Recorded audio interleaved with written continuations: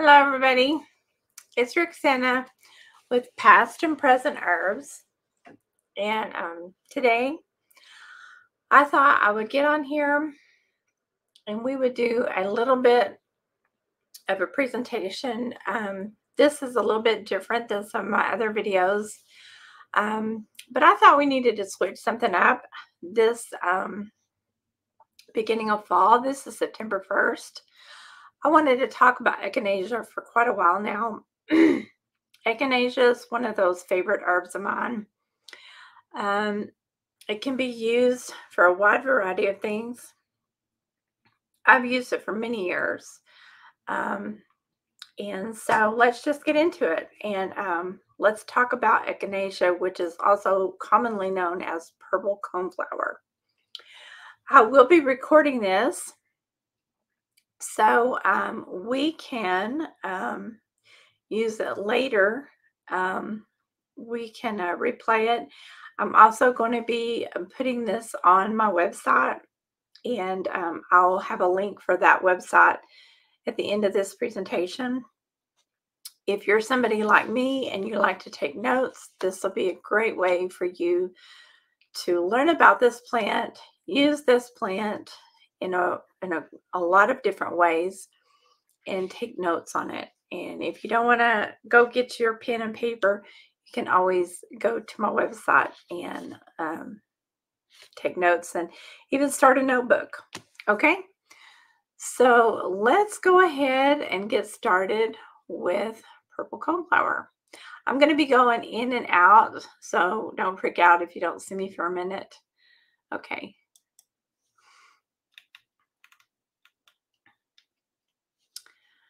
Um, first of all, it is a beautiful flower. It's great for the bees. Um, when um, you see just the leaves, they're narrow leaves. Um, it comes in a lot of different colors, but the bees just absolutely love it. Um, I've grown it in uh, two different colors. Well, three if I think about um, yellow. Um, but um, there's different shades of pink that it comes in, and then yellow. Um, and it's even come in a fire uh, looking kind of red, red as in the, the middle right there, but the, the petals can even come in red color, which is very beautiful. It's very ornate in your garden. And you can kind of um, get carried away with making it look ornamental but it is very medicinal. And some people don't use it as a medicinal plant. Um, they just use it because it's a beautiful um, ornamental. And some people, a lot of people that I know, they say, Yeah, I think, I mean, just gardeners across, you know, the United States, they absolutely grow them. Um, the um, the uh, the the potpourri uh, or potpouria, they don't use them in any shape, form, or fashion for medicinal purposes at all. They just grow them because they are absolutely beautiful. So that's why I say, I mean, you know, um, kind of is a little strange to me, but um, oh well, some people just love them because they're beautiful. Echinacea is a great herb for boosting the immune system and it comes from the daisy family.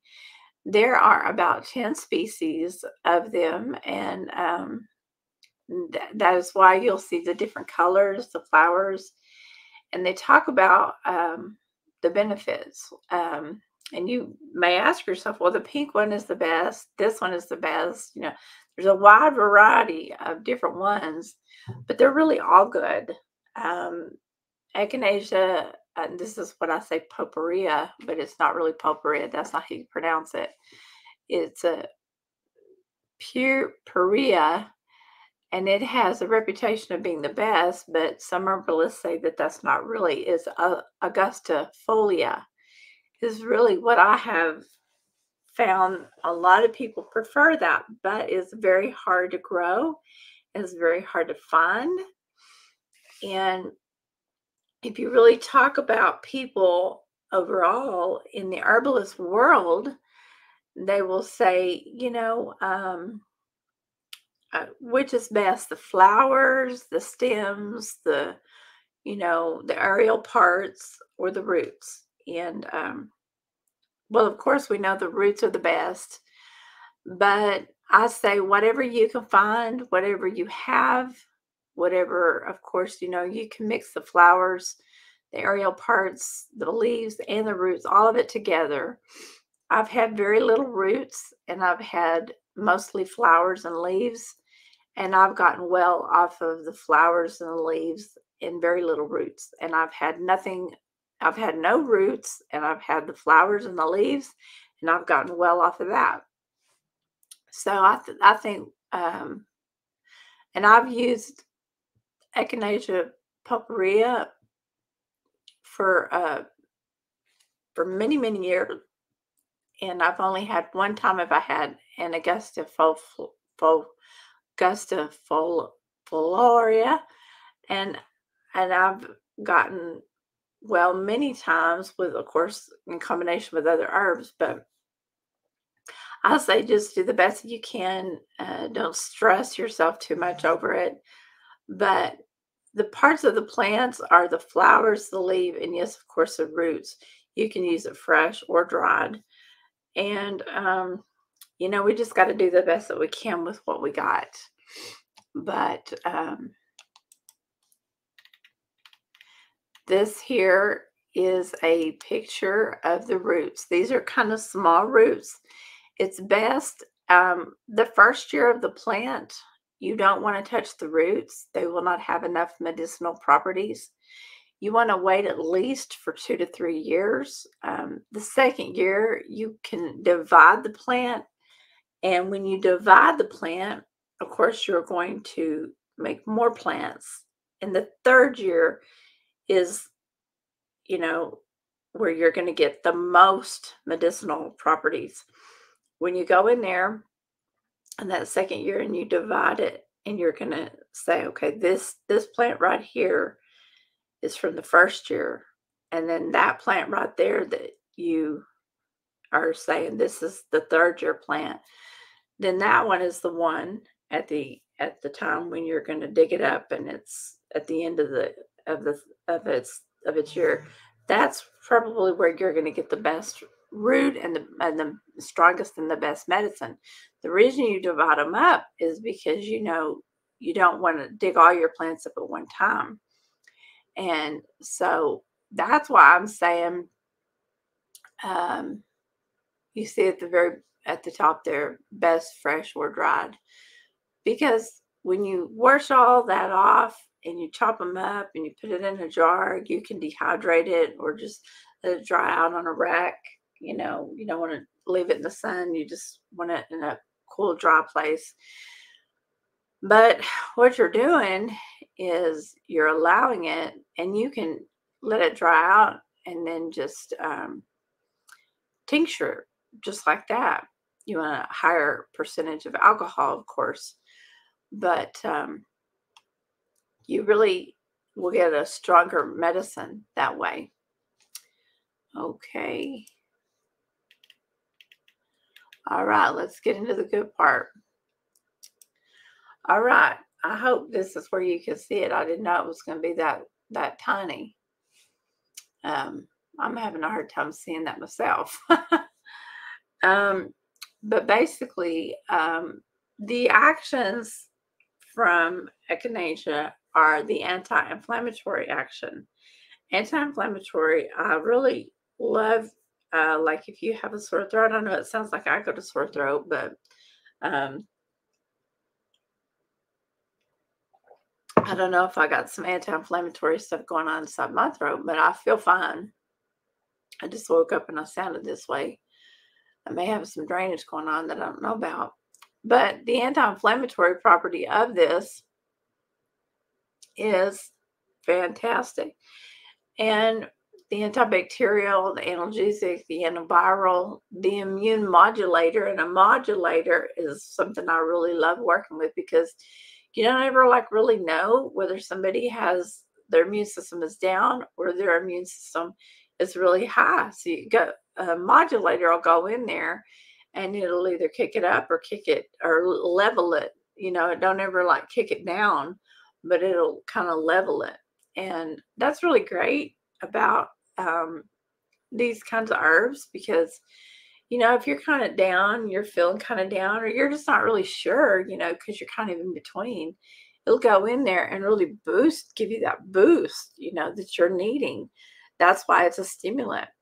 And that's another really good reason to not take it for such a long time because our immune systems may need a boost, but they don't want to be stimulated all the time, you know. It's just like, you know, when you drink a cup of coffee and, you know, you you you get that really good feeling and you think, oh, I'm gonna go clean my house, you know, and I feel really good now. I can clean my house. But you want to wind down and you want to take a break, you know. You don't want to be up and fired up all the time, you know. Because what happens if you're just totally with it all the time? You know, what if you're just uh, fired up on coffee all the time? You get exhausted and, you know, your nervous system can't handle it all the time, you know. You need to have a boost so that everything else in there can you know, be supercharged and start in, I want to say the word. I have to be careful what I'm saying right here. Um, so your body can naturally do what it needs to do to, and y'all know the word I'm trying to say here, but I have to be careful because um, even though this is going to go on my website, and even though this is, uh, but um, there's been some new guidelines that have been put out. So I have to be careful what I'm saying. But anyway, your body can do what it needs to do naturally. And so I'm going to leave it at that. But um, our bodies just will do what it has to do. And um, so, yeah, I'll just leave it at that. And so, anyway, um, but sometimes, oh, I'm sneezing. I think I need some. so uh, yeah, and so um, these other um, actions are um, pretty self-explanatory. Uh, the antibody production stimulates antibody production. Excuse me. Um, that is um, something everybody needs. I mean, and the uh, the other one is kind of like for cancer, and the other one is uh, I can't even read it. It's too small. I should I should put my other glasses on. okay, so we're gonna move on to the next slide. Now, why would you or me? Why would we want to take this herb? Well, number one, this is like one of my favorite herbs. I have like um, probably about 20 herbs that are my favorite. It used to be about 10 or 15. now I've got about 20. But one of the main reasons is if you have a cough, a cold, flu, sore throat, um, just one of the one of the first things you want to do is you want to make yourself a tea. And um, sounds like I need to make me some tea. I've got some weak tea here going on because I am trying to get this throat thing going.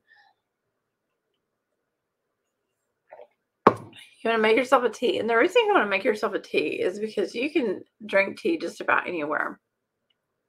If you're working, you're not feeling really good, you can take yourself a tea bag and make yourself some tea in an office workplace, in any type of workplace. Even I don't care where you work, you can just put it in a little mug, put it in a little thermos container, and you, uh, you sweeten it any way you want and before three or three or four cups and if you don't start feeling better then you know um, you may need to add some other herbs with it or you know consult with your herbalist or your naturopath doctor. Because in three or four cups after a couple of days um, of adding like i said some other herbs sometimes um, echinacea on its own like with some lemon and Sometimes I used to just do elderberry. I used to do echinacea, lemon. Um, you could put lime, and some honey, you should already start to feel better. I mean, um, there's some other things that I might add, um, you know, just just to start feeling better. Um, if you have like a runny nose, if you have some other little things going on, I might put peppermint in there. If you're having the sniffles, I might put um, mullein. I might add mullein in there.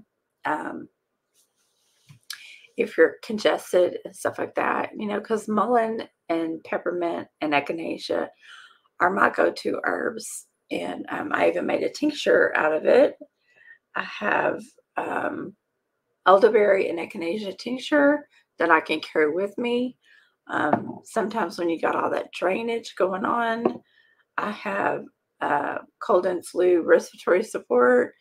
And I even got this on my website. Um, I've got one that's for that you can give to your children, but I've also got one that has um, peppermint, mullein, echinacea, and elderberry, astragalus root. This is for adults. And I also have one without the astragalus root that you know, that you can give to your kids. So I have that so that you can just continue to do the um, tinctures and also the teas. So I highly recommend those. Um, and sometimes you can tell when you're not really feeling good, you can do that. Those are really good combination herbs and tinctures that you can do and sometimes the honey can really help coat your throat. And um, I even take some ginger and add ginger in with my tea sometimes. And um, I did that this morning. And um, sometimes just taking something that will just make you feel good um, and psychologically make you feel good. You know that that is, um, and kids love ginger they love the taste. Um, it's a pungent herb, so if a kid doesn't like it, don't force it on them. That's what I always say. Don't force things on kids. But it's really good for bites, stings, and wounds. And I just wanted to back up real quick. Um, echinacea is a really good herb to not only do in a tincture, but a glycerate. You, I mean, it tastes really good. Um, but there's certain herbs that don't um, break down as a glycerate, but it does have the necessary components to. Um, you can mix it, like I said, with peppermint. Um, some children do like peppermint or spearmint, but it does have the essential um, oils with it to make a great glycerate. And um, so that way, if your kids you know, you don't want them to have a tincture. Um, you can always make a glycerate um, for them. For bites and stings and wounds, it makes a great um,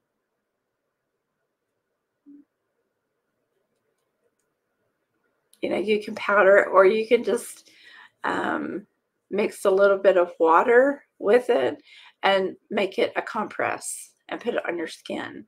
Now, if you have like a gaping wound, like like it's really um, gashed, like it's really a lot, I might be a little bit more cautious and put something that is, um, you know, make a tea and clear the wound out with a tea and make sure it stays nice and rinsed before um, you know, because you, you want to keep that area nice and clean and then put um, a layer of clean cloth down and then put your herbs down in there and then continue to rinse and keep that clean and repeat as necessary. But always you want to have the advice of a naturopath or an herbalist and continue to take pictures. And you just want to make sure you don't have any red streaks going up and just always keep um, consulting somebody that's a professional because you don't want that to get out of um, control. It's also really good for burns as well. And your eyes, um, like you can make a wash. Um, a couple of times a day. Um, I would start out with a weak solution and work my way up to a stronger solution because this is really good for washing your eyes out. I know calendula, um, and I've used calendula the most, mixed it with a little bit. If you have a lot of um, what I call um, um, conjunctivitis or just some just major swelling around the eyes. I know I have that girl there with um, her little eye drop eyedropper bottle, but you can get you one of those little um, cups or you can get a wash rag and use your wash rag as um, you can dip it down into a bowl that has your solution in it and squeeze the wash rag into your eye, put your eye back and squeeze the drops from the wash rag down into your eye. If you do not have a little cup, the cup goes over your eye and you can wash your eye out several times. If you don't have like a little dropper, you know, like one of these little dropper bottles, and use the dropper bottle. Of course, you want a clean um, dropper bottle.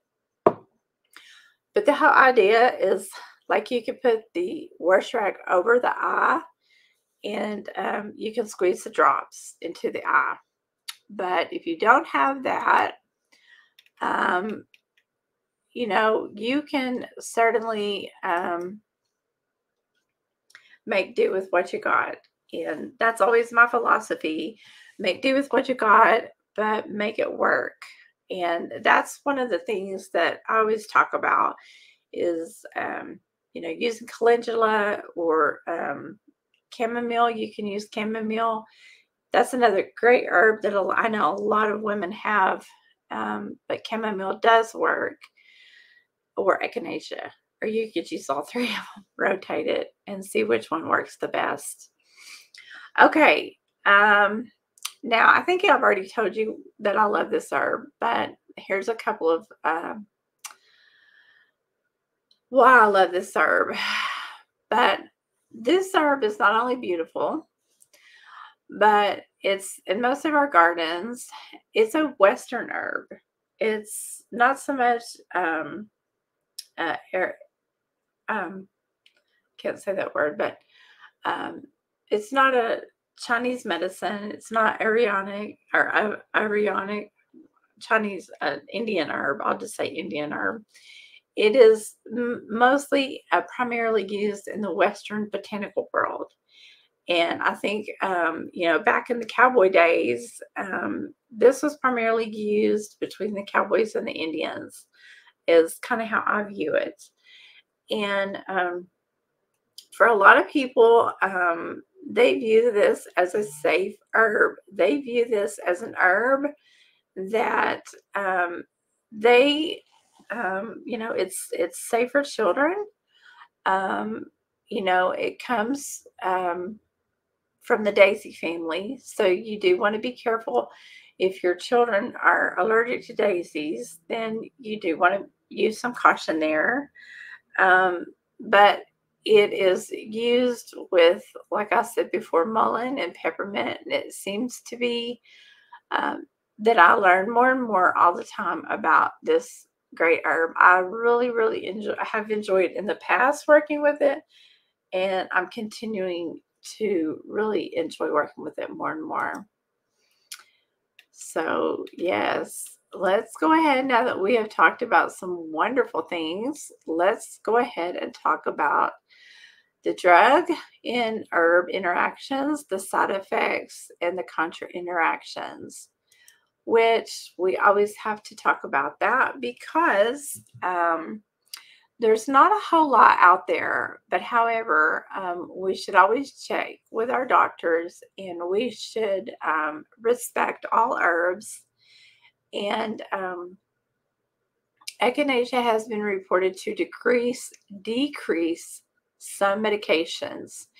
Um, there is a small, um, I think they're called autoimmune medications. I'm not sure exactly what they all are.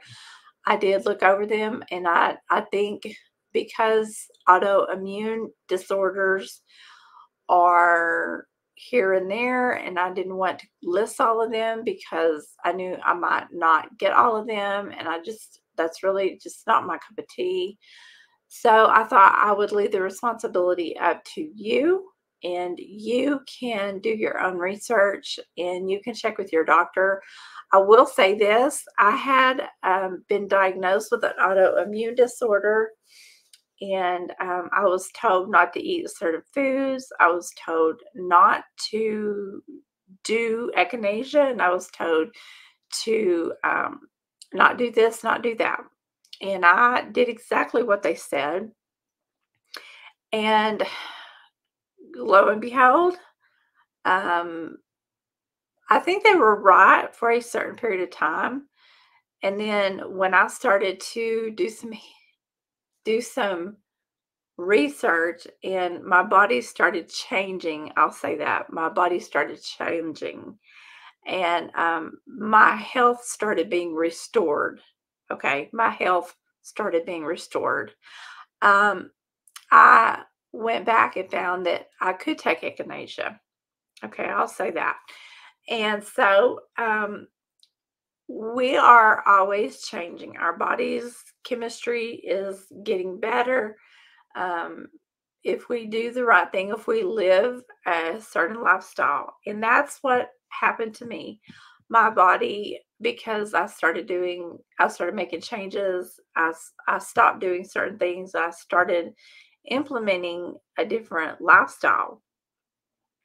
So echinacea became, like I said, I really I really just stopped using it for a very short period of time because my body had gone through a certain, I won't say illness, but I had gotten sick over something else that really didn't have anything to do with echinacea.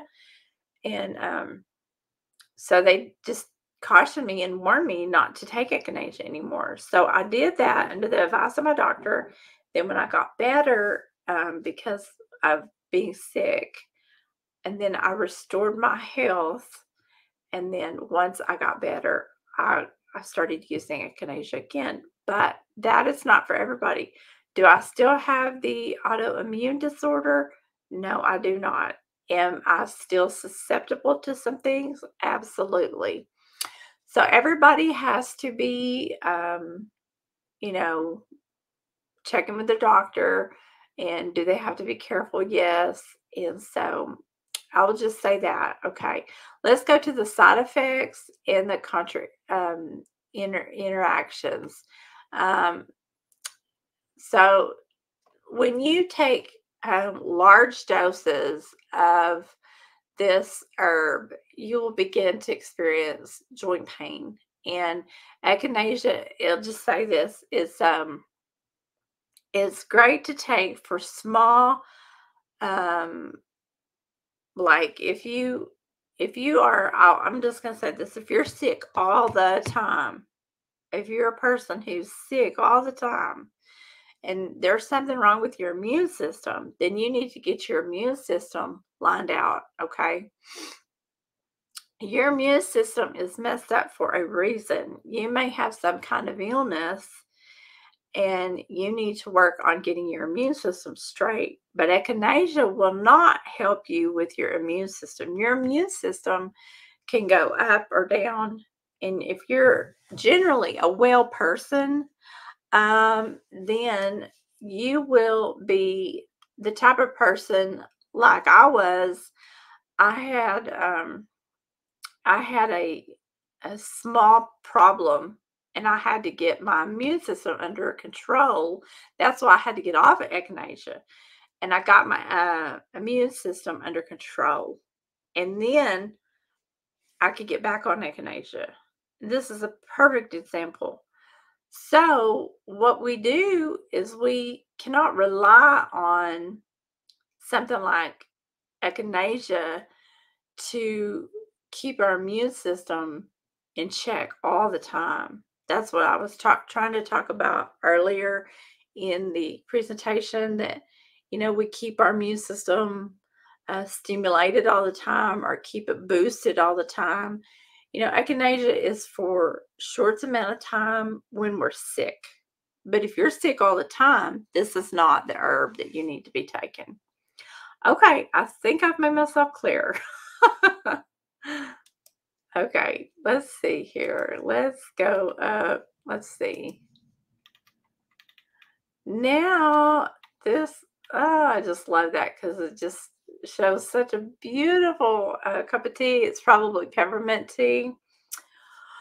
But, okay, so the very first sign of a cold or a cough or yucky, whatever sign, symptom, you're not feeling good, grab you a hot cup of tea. If you don't like hot tea, you can always grab yourself a cold cup of tea. Like I have a little bit of water in with my, I had the last bit of hot tea.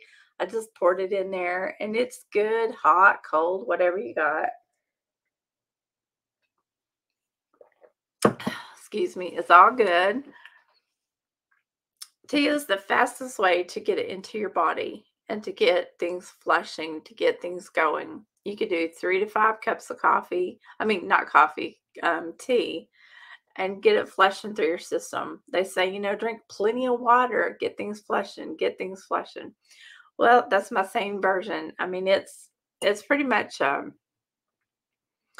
when you're drinking tea, um, herbal tea is a great way to get things flushing through your system.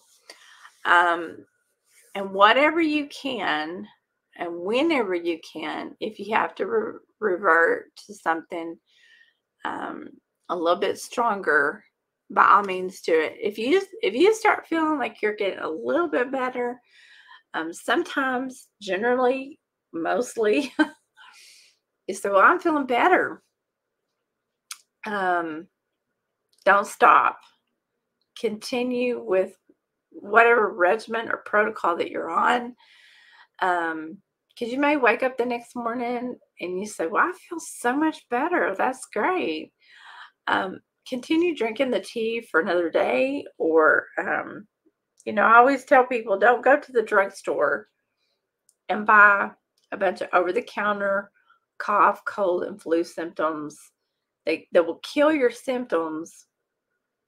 Don't do that don't go to the store and buy all that stuff because number one, what you're going to do is you're masking your symptoms. And the reason you don't want to go buy a lot of stuff that's cough, cold, and flu, like Theraflu or um, Tylenol and and all that stuff, because number one, you're you're going to be masking your symptoms. You are given symptoms by God and the reason you want to pay attention to your symptoms and you want to have a fever, okay, listen to me. you want to have a fever because the fever is going to drive out whatever is inside of you, whether it's bacteria, whether it's viral, whatever it is. You really want that. You say, No, I need a Tylenol. I need to start feeling better now. I know. I used to think the same thing. But the tea will keep you liquidated, liquidated, will keep you hydrated. And, you know, we've just been lied to for so many centuries and for so long. Um, we've been told to get rid of those feelings get rid of how you feel you know these signs and symptoms that you feel bad. I'm sorry you feel bad so take this and you'll start feeling better.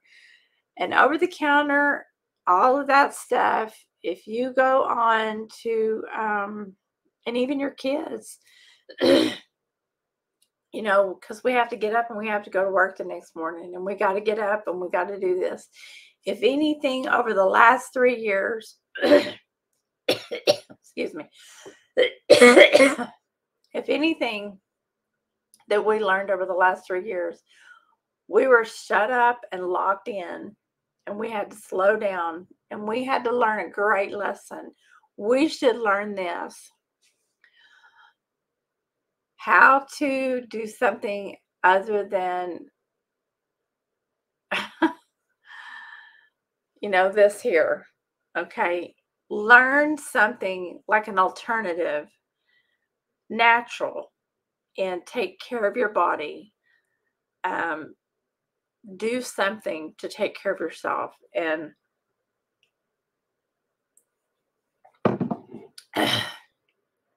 rest, take some herbs, learn to um, cook something good, and you know, just if you get a fever, there's something that you can do, like take chamomile tea. Chamomile tea will help bring your fever down. Go get in a cool bath. Um, let it ride itself out. Nine times out of 10, you're going to get better.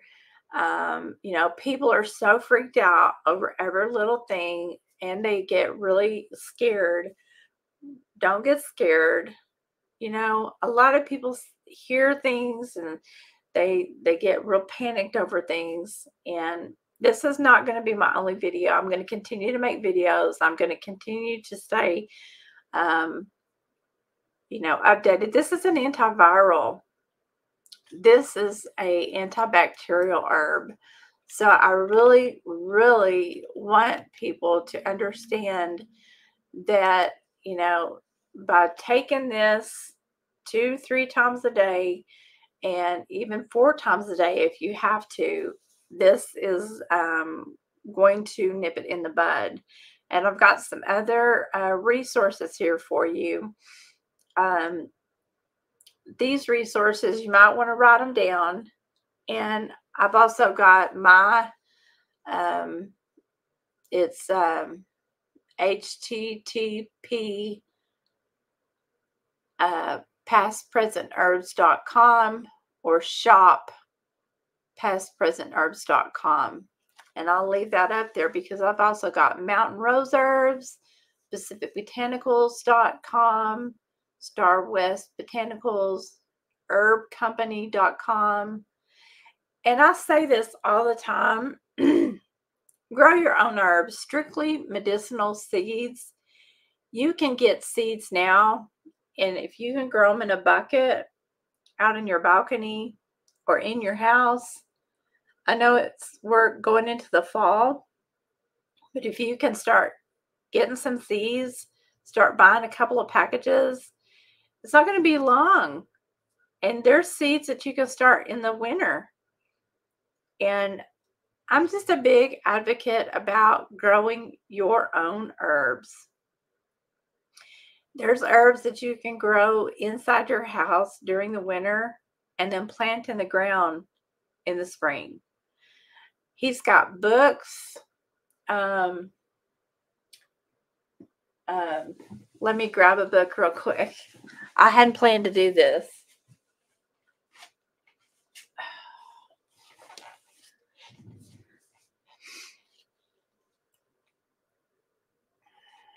I don't know if you can see this. It says uh, growing plant medicine. Growing plant medicine. And growing plant medicine is by Richo Cech. Richo Cech. Okay. And that's that's that's him right there. And this is this is just full of uh